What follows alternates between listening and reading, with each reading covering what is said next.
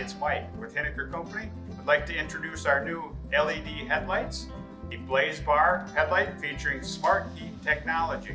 Winter weather can cause reduced visibility, and if your headlights aren't staying clear, it can be unsafe for you and the people around you.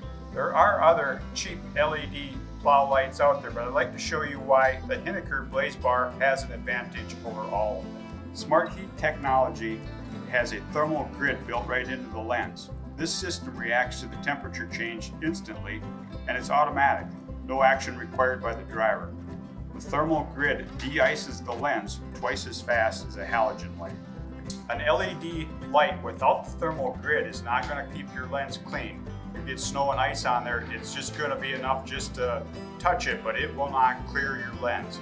That's where we have an advantage with the Hiniker Blaze Bar with the heat technology to melt that snow and ice off of your lights and keep them clean and safe.